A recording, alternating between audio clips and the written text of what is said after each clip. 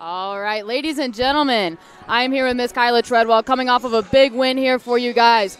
You're a star player on this team right now, and you really had to step up this year. Tell me what that's been like. You know, you had a, you know, you just got your season or your career high in points. You know, against Gallaudet last week. What's that been like for you? You know, you're living on a high note right now. Um, it's been really exciting. It's really like eye opening that I have opportunities to make my team better. So I feel like that's been the best part of it.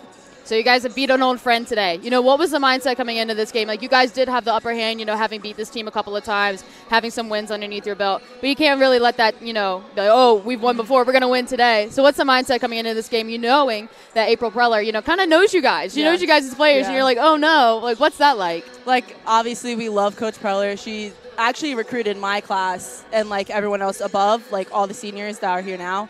And it's just like it's a different experience, but it was exciting to like be able to go against her and see what we could do against kind of like ourselves in a sense because we are like the same now and we do like the same thing. So it was really exciting to see her and like play against her and try to be the best versions of ourselves today. So you guys have yet to play a conference game. This was non-conference for you. What is that? You know, you guys aren't playing non-conference, but how does that get you ready for your conference games? um, just being determined and like in hard situations where we feel like we need to be better and do better these are good games for that to like clean up the little things and make sure that we're doing everything the right way so when it comes down to that time we're ready for it All right, Kyla, thank you so much. Congratulations on your win. Looking Thank you. forward to the rest of you guys' season. thank you